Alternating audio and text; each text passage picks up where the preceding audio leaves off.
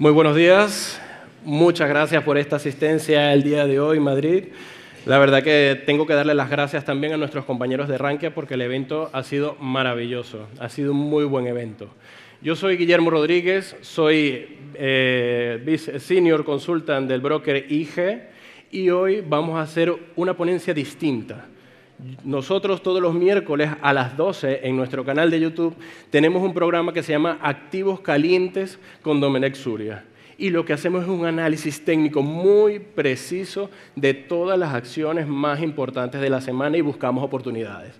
Y lo que queremos hacer hoy es precisamente eso. Vamos a hacer un análisis preciso, vamos a aprovechar los conocimientos de Domenech y vamos a ponerlos en práctica. Sin embargo, antes de operar, pues yo me tengo que convertir en inversor, me tengo que convertir en trader. ¿Cuáles son los pasos para convertirme en inversor? Primero, tengo que educarme en los mercados financieros. Esto es lo básico, se los voy comentando porque es el paso a paso antes de llegar a invertir. Tengo que conocer cuáles son los tipos de activos. Quiero operar en acciones, en bonos, qué es operar en opciones, qué son los futuros y tengo que saber cuáles son los conceptos clave qué es un spread, qué es un análisis técnico, cuál es la diferencia con el análisis fundamental y qué es la volatilidad en el mercado. Luego, punto número dos, tengo que definir mi perfil inversor. ¿Cuál es mi horizonte de inversión? ¿Quiero ganancias a corto plazo? ¿Quiero operar más a largo plazo? ¿Qué es lo que busco? Un riesgo pequeño y una rentabilidad, por lo tanto, un poco más pequeña, es decir, voy a operar con acciones al contado, o quiero operar con derivados con riesgo limitado, pero que tenga un poco más de rentabilidad y un poco más de apalancamiento. ¿Para qué quiero ese beneficio? ¿Para qué quiero esas ganancias? ¿Para mi jubilación o las quiero por un ingreso extra? Esto es muy importante tenerlo en cuenta porque dependiendo de mi perfil inversor, yo puedo operar en un producto o puedo operar en otro. Tercero, tengo que elegir un broker adecuado. Mi broker es IG.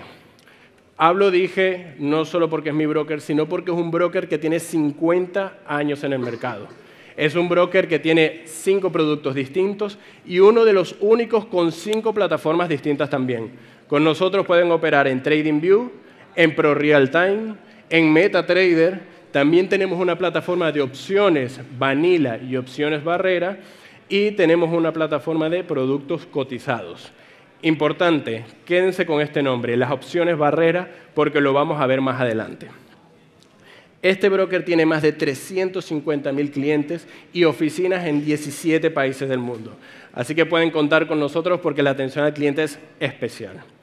Cuarto, gestionar el riesgo, ajustar la estrategia. Acá es donde entra mi gran amigo Domenech, porque vamos a partir de acá verificar cómo puedo gestionar ese riesgo. Lo más importante es poder tener una libreta, hacer un diario de cuáles son mis beneficios, cuáles son mis pérdidas, cuál es la estrategia que me ha funcionado el día de hoy. Y a partir de ahí estoy seguro que voy a tener un poco más de éxito. Les comentaba, voy a, convertir, voy a hablar de las opciones barrera. ¿Por qué? Porque el día de hoy yo me voy a transformar en un eh, trader que opera en índices y acciones, pero que lo opera haciendo swing trading, que quiere apalancamiento, pero que quiere riesgo limitado. Entonces, mi producto especial precisamente es este, son las barreras. ¿Por qué son las barreras? Las barreras es simplemente un tipo de opción que es solamente compra de call, compra de put, no tiene vencimiento y puedo elegir la prima a través de un stop loss garantizado que se llama knockout. Y ese sería mi máximo riesgo. Es decir, puedo elegir el apalancamiento, pero el hecho de que pueda elegir el apalancamiento no quiere decir que tenga más riesgo. Precisamente en este caso, puedo, eh, mi máximo riesgo va a ser el margen o la garantía que me van a solicitar, que en este caso sería la prima de la opción. ¿Cuáles son las ventajas de operar con las barreras y por qué yo hoy, trader de índices y de acciones, va a operar con barreras? Primero, costes bajos. Hablo de costes bajos porque si operas en índices, forex, materias primas o criptos, va a ser únicamente por spread. Y en el caso de acciones va a ser por comisión, pero son comisiones muy ajustadas. Segundo, el apalancamiento. Como les he comentado antes, yo puedo elegir el apalancamiento en este producto. Puedo operar el DAX a un euro el punto y colocar el knockout a 100 puntos de distancia y solamente me va a solicitar 100 euros. Y antes puedo colocar otro stop loss y puedo colocar mi take profit. Así que tengo un control total de la operativa. Tercero, estrategias personalizables. Tengo unos clientes que van a operar en barreras, sobre todo en las elecciones de Estados Unidos.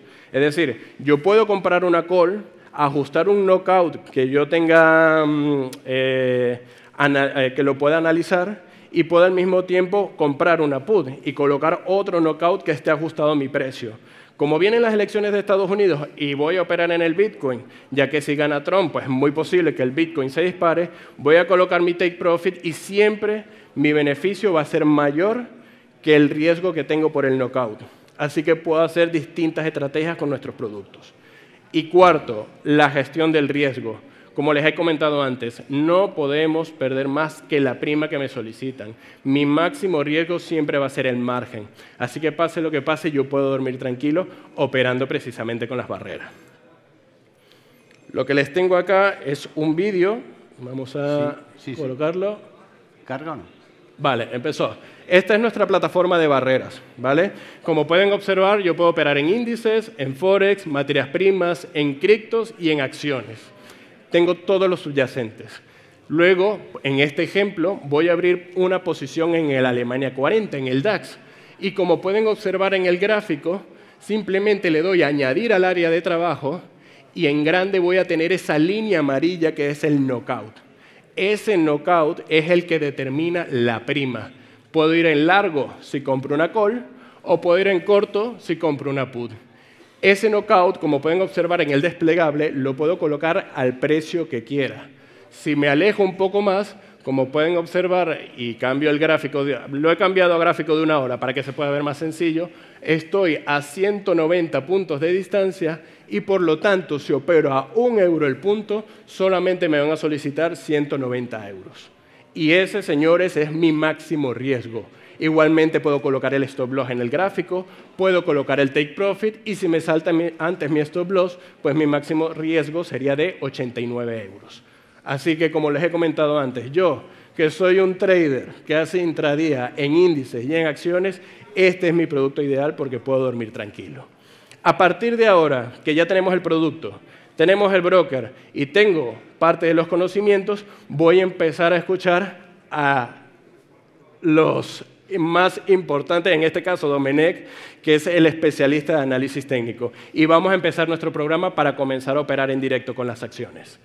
Bienvenido, Domenech. Gracias, gracias. Vamos, un aplauso para Domenech, vamos, coño. A la siguiente. Sí. Ahí lo tenemos. ¿Qué nos tienes para contar hoy, Doc? Voy a... ¿Cómo? Ah. Voy a intentar explicar un poco uh, lo que hacemos, ¿vale? A mí me plantean hacer, eh, enseñan a operar acciones, acciones con derivados, porque IG es un broker de derivados. Y realmente los traders, es lo que antes he explicado en, en la primera conferencia, cuando ya sabes lo que te estás haciendo, cuando ya sabes un poco o bastante de análisis técnico, donde realmente se gana dinero es operando acciones con apalancamiento. No puedes, no puedes, sí que puedes hacer lo que quieres, pero no se gana dinero quemando pestañas siguiendo todo el día un índice. ¿vale? Recordad que hemos dicho que el alto apalancamiento nos obligaba a hacer intradía, no nos permitía hacer swing. Y este, este factor es muy importante, precisamente operando acciones con un apalancamiento bajo, 1.5 o 1.6, yo soy de 1.5, aunque con barrera es un producto extraordinario y te permite 1.6, 1.7 de apalancamiento. O 1.100, que es lo bueno de la barrera, con que el que quiera, ¿eh? Con acciones no te, no te dispares, no. Esto lo hacemos cada miércoles y nos pegamos muchas risas, ¿eh? O sea, cada miércoles en el canal de YouTube de IG España uh, hacemos activos calientes, donde lo que hacemos es analizar esto. Vale, ¿qué es lo que planteo para intentar eh, que os sirva, que sea productivo en la conferencia de hoy? Operar acciones hoy en día se ha puesto muy de moda, intentar operar lo que se llama inversión momentum, Intentar eh, comprar en máximos o en zonas muy, muy altas. Yo, como soy de la vieja escuela, donde siempre he ganado mucho, muchísimo dinero, ha sido con mucha paciencia. Entonces aquí tenemos a PayPal, por ejemplo, que hizo una corrección fantástica extraordinaria, fijaros, llegó más allá del 76,4%, casi casi al 88,2%.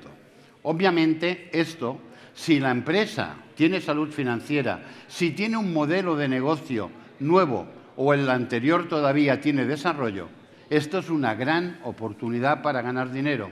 Y como resulta que vamos a operar con apalancamiento, apalancamiento significa que ah, si ganamos un 10%, con un apalancamiento de unos 5 vamos a ganar un 50%. ¿50% de qué? Del capital que hemos utilizado para, como garantía para entrar en el producto. Por lo tanto, aquí podéis ver cómo PayPal se había convertido en una muy buena oportunidad, oportunidad que obviamente aprovechamos. No, no es que sean cuentas auditadas, es que no, no damos señales. La idea de este programa que hacemos cada miércoles es formación, es que entendáis qué es lo que hay que operar y dónde es más fácil o hay más probabilidades de sacar rentabilidad. ¿vale? Pero si repasáis todos los vídeos que hemos hecho, desde el 15 de mayo, hemos estado explicando una o dos semanas antes dónde íbamos a entrar y por qué, y dónde íbamos a salir y por qué de cada operación. Y luego al final veréis el resultado. Lo dicho, PayPal, a partir de que llegamos a un posible suelo, obviamente en estos momentos no se sabe, pero sí que había un margen suficiente para intentar esta operación. ¿vale? Entrada de dinero en la zona de los 68 y aún estamos dentro, que eh, hemos llegado ya. Vamos en la zona objetivo, es la zona de los 86. ¿vale? Primera, la para los más prudentes o que iban más cargados, había la primera zona de salida que ya ha sido alcanzada y para los que están haciendo una operativa más normal, tenemos la segunda, que hay una zona de muy importante resistencia de largo plazo y que es lo que estamos en estos momentos operando.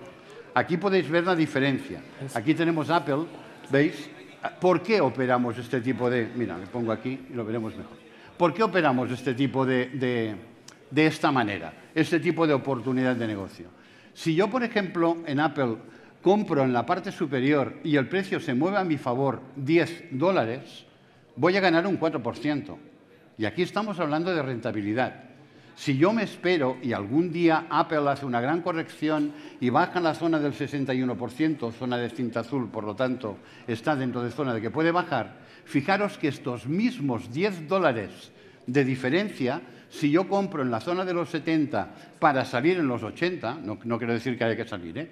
Lo que antes era un 4%, aquí es un 14%. Esta es la gran diferencia. Si esto lo multiplicamos por un apalancamiento de 1,5, en el primero de los casos, ¿qué ocurre? Que como mucho podemos ganar esto, un 4% que sería un 21%, pero además tenemos el riesgo que estar en una zona tan alta tengamos una envolvente bajista rápida, que a veces ocurre, sobre todo en mercados de acciones, y de estar ganando de golpe por razo estemos en pérdidas. En cambio, cuando entramos en una zona, como hemos visto antes de PayPal, en una zona baja, si la empresa es sólida y realmente y PayPal lo es, eh, este tipo de movimientos tan importantes en dirección contraria son mucho más extraños. ¿vale? Por lo tanto, fijaros que el beneficio se amplía de forma importante operando, eh, esperando una oportunidad. ¿Cómo se consigue oportunidades? Lo que hacemos es tener, fijaros, aquí tenemos, eh, esto lo da la plataforma de Pro Real Time, que es una de las plataformas de IG. Eh, yo tengo una comunidad, que por aquí hay todo un grupo importante. Eh, entre todos, como comunidad, hemos conseguido o hemos hecho, César ha sido uno de los principales, 6.500 compañías, pasarlas a listas de 50 unidades, de 50 empresas, por sectores y por países. ¿Por qué? Ahora que había la posibilidad, ya hace tiempo que lo estábamos persiguiendo, de que China despertara, yo decía, si el Hansen en cierto momento pasa por encima de los 18.140, que es una zona de soporte resistencia realmente importante, podemos tener un momento expansivo. Esperaba que ocurriera lo que ocurrió, ni de broma, que hubiera los estímulos por parte del gobierno en aquel momento, pero hacía dos días en el directo el miércoles que habíamos entrado tanto en NIO como en JD en jd.com, que eran las dos. Sí, claro. Las dos, sí. Eh, sí. las empresas que, claro, yo para intentar enseñar esto no puedo estar cambiando de empresa cada semana. Entonces me hice un pequeño portfolio con dos empresas, hay seis americanas, cuatro europeas y dos eh, asiáticas, y con las dos asiáticas entramos justo en aquel momento. ¿vale? Eh, y esto fue lo que nos dio el resultado. Entonces, si nosotros, este es un escáner que programé en un momento, pasamos el escáner por alguna de las listas, nos da que, fijaros bien, nos da esto. Estos son empresas de China que en estos momentos el escáner dice que en los dos últimos años, de los máximos que habían hecho, están en zona de corrección entre el 61 y el 76%. ¿Significa que aquí se puede entrar? No. Significa que esto es lo que tenemos como material de estudio. A partir de aquí tenemos que estudiarlas mucho más en profundidad. Fijaros que esto es gráfico mensual. Por lo tanto, hay que estudiarlas en semanal, hay que ver si hay posible suelo ya hecho o no, y después hay que hacer, ¿qué es lo que hay que hacer? Hay que hacer el estudio de fundamentales. ¿Qué tipo de fundamentales? Porque esto, el tema de fundamentales es muy complejo. Muchas veces hay gente que pregunta, creo que tú antes preguntabas sobre el tema de fundamentales. ¿Fundamentales para qué? Si yo tengo que mirarme las fundamentales para yo comprar una empresa a largo plazo, intentando quedarme en ella tres, cuatro años, obviamente voy a mirar mucho más. Si yo lo que voy a pretender es solo ah, cómo está la empresa para hacer un movimiento especulativo bastante rápido en zona muy baja, realmente lo único que tengo que ver es la salud financiera. ¿Cuál ha sido la evolución de las ventas mientras la valoración de mercado caía? os sorprenderéis, porque no tiene nada que ver. Las empresas normalmente, no todas, pero normalmente, siguen manteniendo un alto crecimiento, siguen manteniendo incremento de ventas, incremento de activos totales, reducción de deuda total. ¿Cuándo? Mientras su valoración bursátil cae un 70 o un 80%. Entonces, lo que tengo que ver es la salud financiera, ventas, beneficios, evolución de los activos totales, evolución de la deuda a largo plazo, yo que soy un poco, lo quiero ver bien, deuda de circulante también para que no haya un especialista que me haga la pirula y la liquidez, ¿vale? El cash on hand, el dinero para ir al cine que tiene la empresa.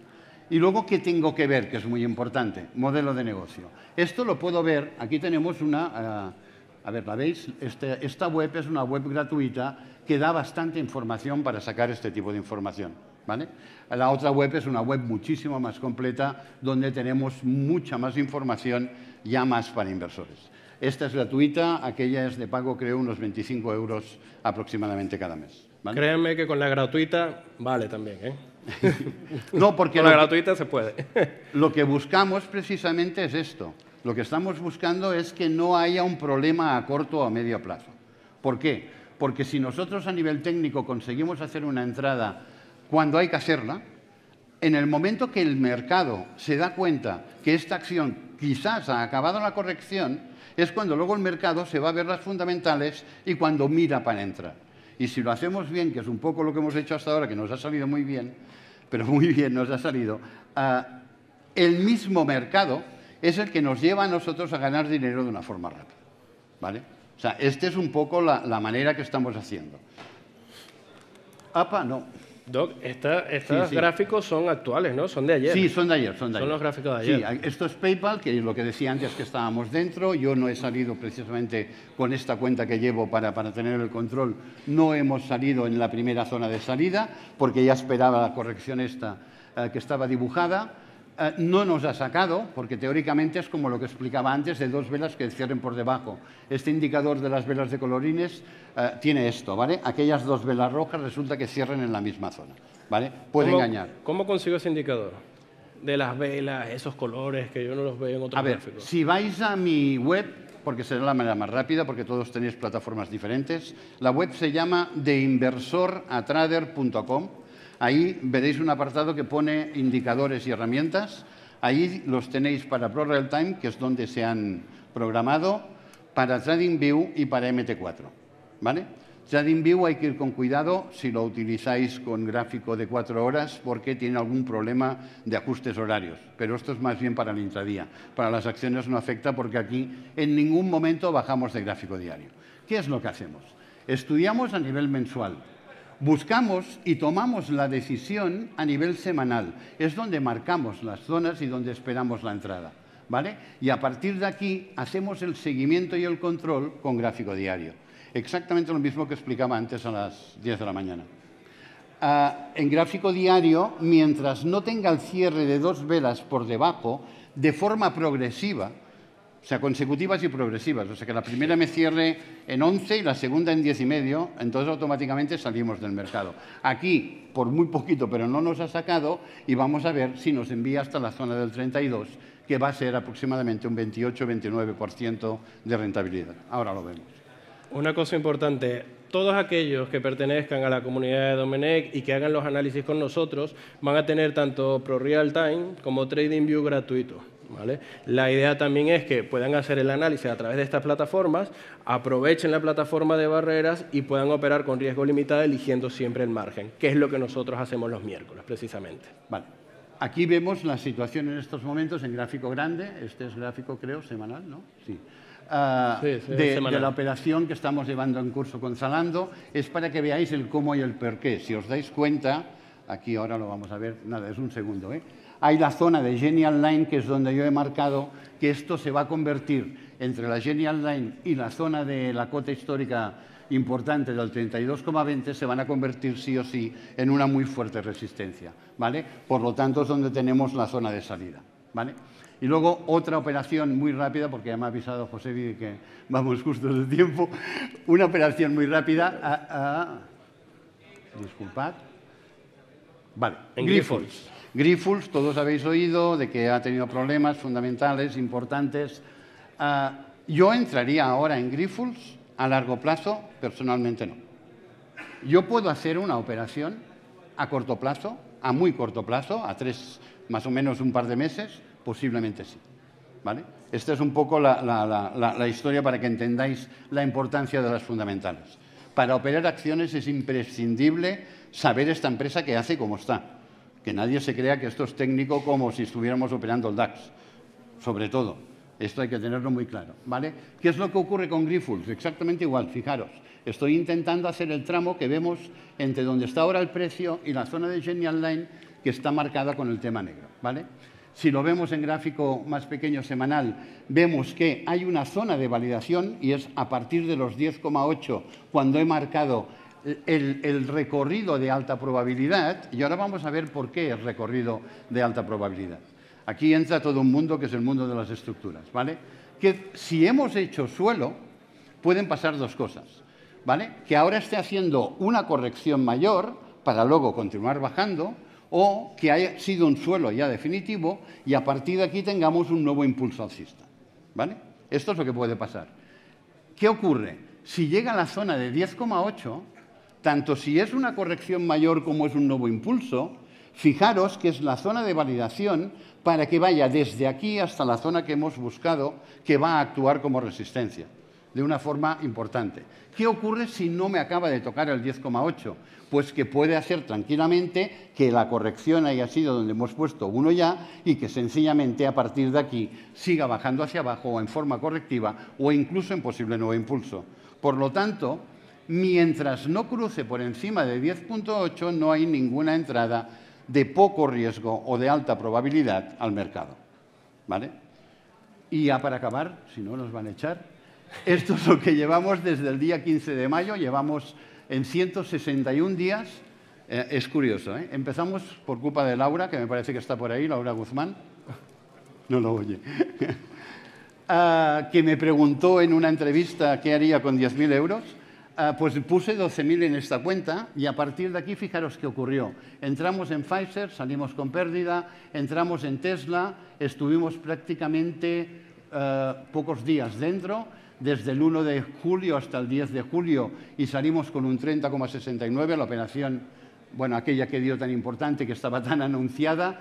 Eh, Pfizer, volvimos a intentar la entrada, salimos sin pérdida, pero tampoco evolucionó Intel estábamos intentando parar una corrección, el T-Profit estaba en el 20% y al llegar al 18% se dio rápidamente la vuelta, etcétera, etcétera, etcétera. Resultado, con estas 12, con este pequeño portfolio, operando estas acciones durante estos cinco meses, hemos conseguido en contado, en rentabilidad real, un 62%. Es muy alto. No es tan fácil operar los mercados. Normalmente nadie te regala nada. ¿Qué ocurre? Como lo estamos haciendo con apalancamiento, resulta que llevamos ganado, y esto es cierto con todo lo que está cerrado, un 225%. Y si hoy cerráramos lo que tenemos abierto, que solo nos queda Revolve, ah, solo nos queda PayPal y Salando, si cerráramos ahora mismo, que llevamos la cantidad de aquella provisional, resulta que estaríamos con un 300% gracias al apalancamiento. Tenerlo muy claro. Pero que el apalancamiento es muy bueno cuando te va a favor, pero el apalancamiento te puede hacer perder mucho dinero cuando te va en contra. Por lo tanto, aquí hay que tener la cabeza muy fría, pensar mucho, o sea, es todo lo contrario de lo que es el trading intradía. Aquí tenemos días, semanas. Normalmente, desde que vemos una acción que puede ser interesante, automáticamente decimos, mira, esta quizá nos dará una entrada en esta zona. Es fácil que pasen tres semanas, cuatro o cinco, más de una vez, hasta que nos ha dado la entrada. ¿Vale? Aquí lo que buscamos es permanecer dentro del mercado aproximadamente dos meses, dos meses y medio como mucho. Y aprovechar precisamente el apalancamiento con acciones para conseguir estos fantásticos resultados. No, y como pueden ver, la primera operación fue pérdida. Sí, sí, sí, sí, Empezamos y que, oye, vamos a empezar este programa y empezamos con pérdidas, pero bueno, luego, luego pudimos remontar, pero sí. No, no, y además, a ver, ¿qué ocurrió? Ah, hubieran dado NIO y JD exactamente igual porque habían validado, sí. Pero ah, eso, ah, lo dieron en cuatro días en vez de darlo en dos meses. creo que ya estás. ¿Tienes que decir algo más tú? Sí, bueno, a ver, simplemente comentarles, ya muchos lo tienen porque ya han abierto cuenta con nosotros y ya han estado jugando con la Diana. Eh, pueden llevarse hasta 200 euros, 250 eh, euros si le dan al medio de la Diana y se les depositaría directamente en la cuenta de barreras para que puedan comenzar y puedan probar e ir poco a poco. Y hay muchos que lo han abierto, pero bueno, desde el stand los estamos esperando precisamente para aclarar las dudas de esta sesión también y que le puedan dar a la Diana y se lleven esos 250 euros, vamos, que eso es lo importante también. Pues Doc, ya, está. ya tenemos preguntas. ¿Podemos hacer preguntas? No, no, no, no, ni una. Nada. ni media. Pues muchas gracias. No, no, ningún problema. Si queréis preguntas, los miércoles, cada miércoles, a las 12 del mediodía, canal de YouTube de IG España. En IG España tenemos 89.000 seguidores y nos pueden seguir todos los miércoles. Muchas gracias y muchas gracias por la presentación.